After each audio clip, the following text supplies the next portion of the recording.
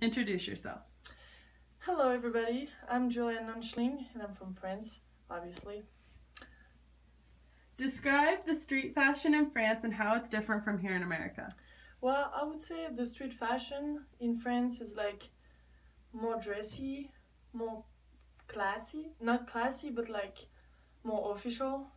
Like dress pants or jeans, like joggings or sweatpants are like basically, except on boys, you don't see them in the street. What's your favorite outfit that you are looking forward to wearing back in France?